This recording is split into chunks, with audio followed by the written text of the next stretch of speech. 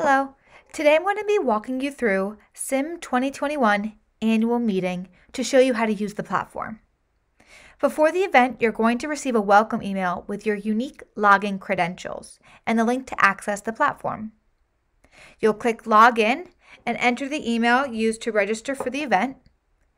And then you'll enter the unique badge ID found within that welcome email and click Claim Account. Next, you'll be prompted to create your own unique password, which will be used moving forward. Once you do so, you'll be successfully logged into the platform. The first time you log into the platform, you'll be prompted to go through a quick onboarding process. First, you'll have the opportunity to connect with your Facebook or LinkedIn for the purpose of populating your profile picture within the platform. If you'd like to connect to your social channels to pull in your profile picture, you'll simply select the channel of choice and follow the prompts. Otherwise, click Next and I'll show you how to add that later on. Next, you'll be asked to fill out this, these onboarding questions specific to you and your individual preferences. So these are blank. You'll be able to click through and select the option that is most relevant for you for each of these sections. The purpose of these preference questions is to learn about you so we can teach our smart AI solution more about your preferences to serve you smart recommendations of professionals to meet at this year's event. Once you fill out all of these um, questions, you'll be able to select next. And then you'll have the option to select your contact details visibility setting. So within the platform, you could have your contact details as private, meaning no one can see them, as connections only, meaning only those you've shown a mutual connection with can see your contact details, or public, meaning anybody on the platform can see your contact details. So you select your preference of choice and select next. And then lastly, you'll be asked to consent to a data sharing form just giving us permission to use your data anonymously for the purpose of strengthening our AI solution. So you'll toggle this on and click Start Networking. Now, once you go through the onboarding process, the first thing you're going to want to do is to update your profile. So you're going to click on Profile on the top right corner, and you're going to make sure the details here are all filled out and accurate to you as an individual. If you did not pull in your profile picture from your social media channels, you can do so here by clicking on the pencil icon and pulling in that picture from your desktop. Now, your first name, last name, headline, and profile picture are the first pieces of information that other professionals will see when you are being served as a recommendation within the platform. So, it's important to have those details filled out. Most commonly, we see your headline as your job title and company name. I scroll down, you'll see your contact details. So at any time, you can change your visibility preference if you wish. And then down below, you'll see all of the questions that you filled out in the onboarding process.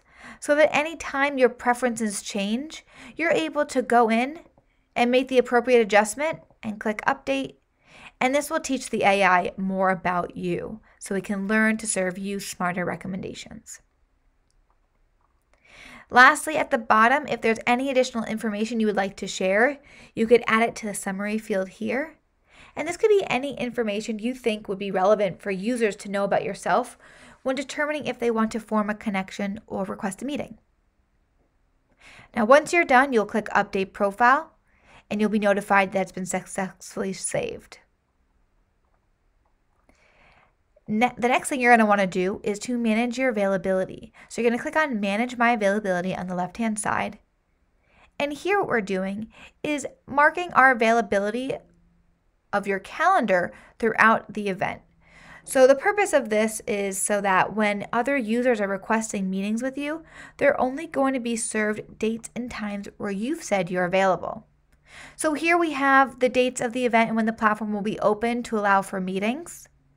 And you'll notice that the time is 24 hours. So we are allowing anybody to request or have meetings at times that are most um, applicable or relevant for them, no matter where they're tuning in from for this year's event.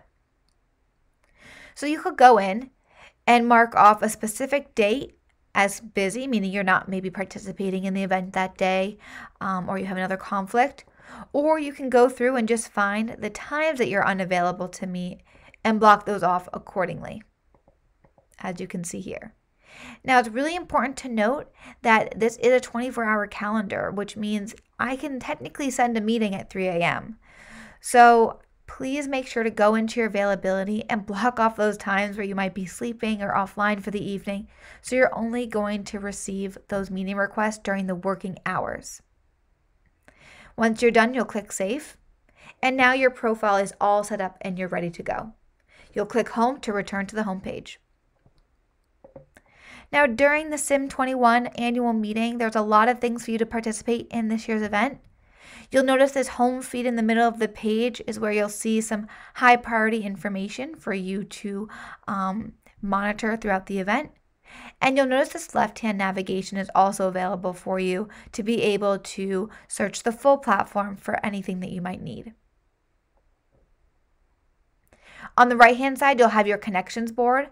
So that any time you form a new connection, that individual will appear here and you'll be able to open that up to send them a quick message throughout the event.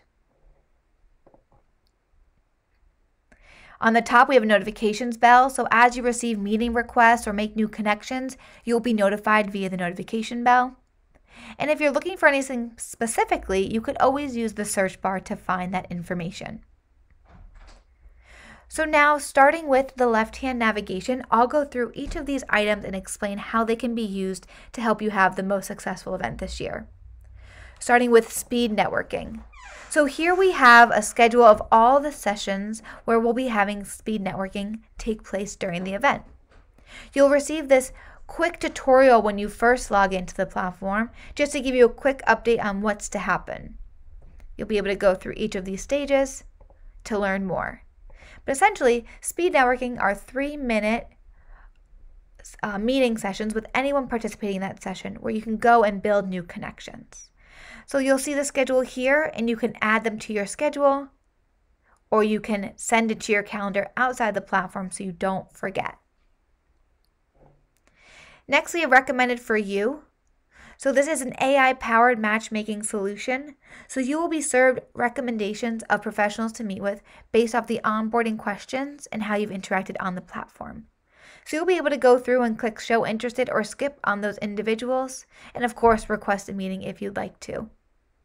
The more you interact by showing interest and skip, the smarter the AI solution will become, serving you more relevant leads. Interested in you will be a list of all those you've shown interest in. Um, so if they, if you have anybody in your interested list, really important here because these are incoming leads. So once you show mutual interest back, a connection would be made and you would now see them on your connections board and be able to live chat with them. So really important to be monitoring interested in you because those are where all your inbound leads will be. My connections, these are those individuals who you form mutual, uh, who you've shown mutual interest in, so you formed a connection. And so you'll see them here. And of course, you can chat with them, view your meeting if you already have a meeting on the books, or if you have don't have a meeting on the books, you'll be able to request a meeting as well. My interested list, this will be the list of all the individuals you've shown interest in, so you can kind of keep a running tab of those um, that you'd like to connect with, so you can monitor to make sure that they actually um, convert to a connection. My skip list, these are all the individuals that you've skipped. Maybe they were irrelevant to your business or did not find a meeting, uh, a need to meet with them in any way. So you've skipped them and they would appear on this list. Again, this is just a running tab for you to understand the activity that you have on the platform, but no one would be notified that you skipped them. What skipping does is it teaches our AI solution more about your preferences to serve you smarter recommendations. So, really important to skip on those who are relevant to you. My schedule. Here you'll be able to see all of the meetings that you have scheduled for the event. You'll see the dates and the times of those meetings as well as who you're meeting with and you will see um, the status of those meetings. These already happened, so you're seeing expired. But if you have a confirmed meeting, it will be in green and say confirmed. If you're waiting for a response, you've sent out a meeting request, it will say awaiting response. And of course, if it's pending, you can respond and accept or decline that meeting request, and the status would show as pending.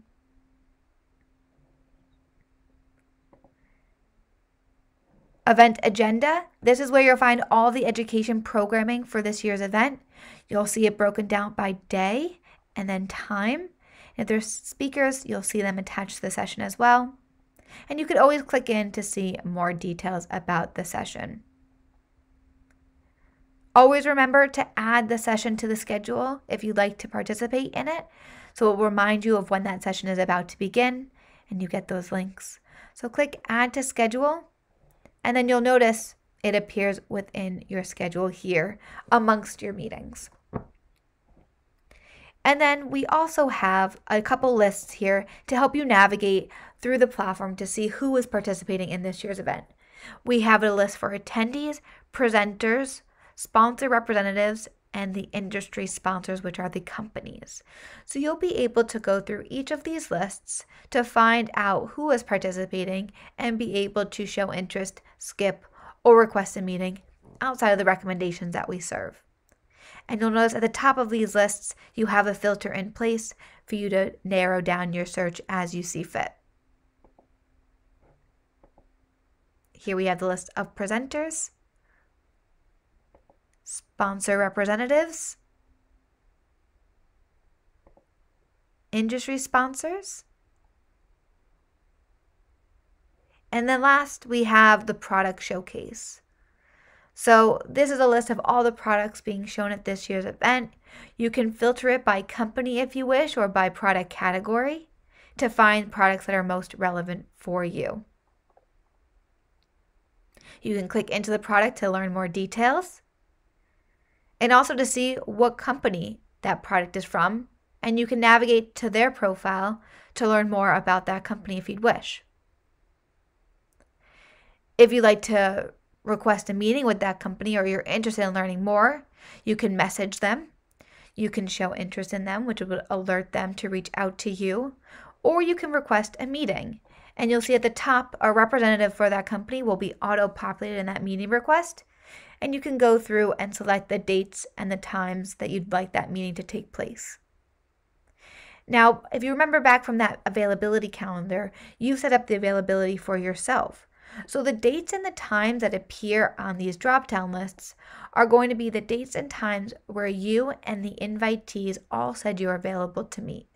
So it takes the scheduling legwork out of it and you can quickly and efficiently book those meetings. And then last but not least, we have tech support at the bottom. So if you have any questions during the event um, in regards to the platform, please feel free to click on tech support and an automated email will pop up um, and you'll be able to fill out your question and we have a team in place to help you answer those. So I hope this overview was helpful uh, and I wish you the best of luck at this year's event. Thank you.